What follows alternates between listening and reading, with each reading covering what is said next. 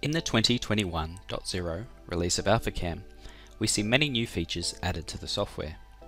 We have created this video to highlight a few of these beneficial features, but if you wish to find additional information on all the features that have been added to AlphaCam 2021.0, please read the What's New document. A link to this is provided so you can download and browse at your leisure.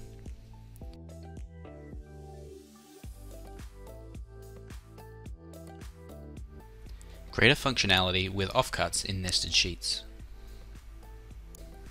Offcuts in nested sheets have been enhanced to give the user more control. In addition to the existing option to create a single offcut in a nested sheet, you now can choose to have two offcuts generated. From within Automation Manager, this can be accessed from your job configuration settings.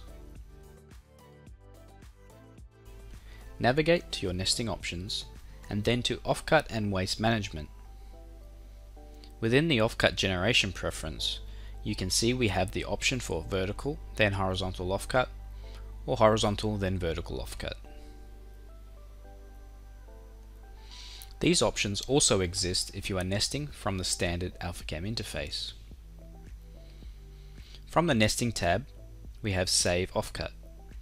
And we can see that we have two new options to generate two offcuts instead of one. These can be saved back into your sheet database if required.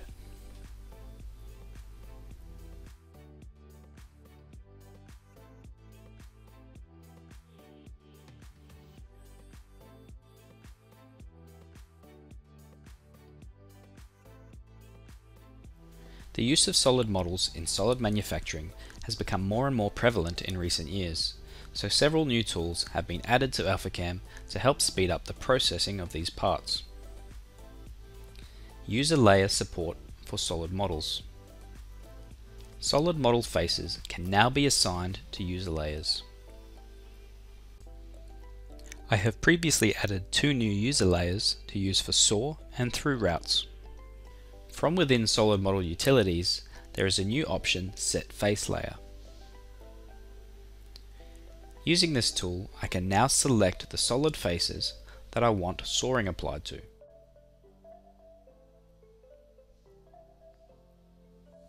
With those selected, I can now select Saw as the user layer.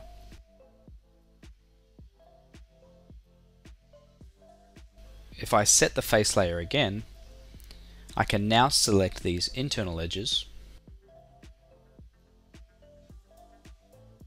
and select through routes as the user layer they will be applied to. As these layers have colors defined, I can now easily see which faces have been assigned to user layers. Applying machining styles to solid face layers. I already have the ability to machine directly from a solid face using a router or saw tool. This new feature allows us to create machining styles containing solid machining operations. Using a pre-configured solid face machining style for sawing, I can right-click and apply to selected layers. The previously created saw layer is chosen and the machining is automatically applied.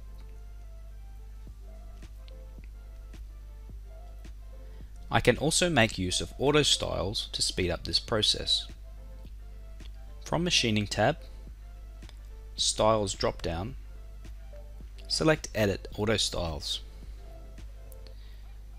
Here I have an auto style to always apply a given machining style to a predefined layer name. If I close this, I can apply by coming to the Styles drop down and selecting Apply Auto Style. I choose the auto style I want to apply and the machining is added automatically. The logic used to order sawing for solid model faces has been improved and a minimize angle change option has been added. AlphaCam now orders the operations so that the end of the previous cut is nearest to the start of the next cut. A tick box to minimize angle changes when ordering has also been added. I've created two machining styles with and without this option selected and we can see the differences. Without the tick box selected, we can see that sawing operations are ordered logically around the part to minimize travel movements. However, there is no consideration of tool angle. So these vertical cuts require the head to change angle after each operation, increasing machining time.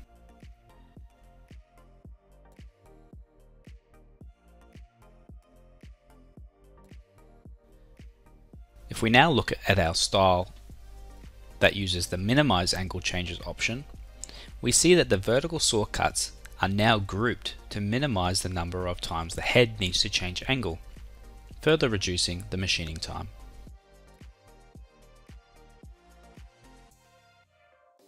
XY stock option added when creating material. The Set Materials option has now had functionality from the Create Default Material add-in added. When setting material, you can now specify the amount of XY stock that needs to be added. I will draw a rectangle around this part. I will hide my part to make this easier and select 3D tab, Set Materials. I select my geometry and confirm. I can now add my material top and bottom Zs, as before, and include any additional XY stock as required. The drawing updates to show the stock as you enter values.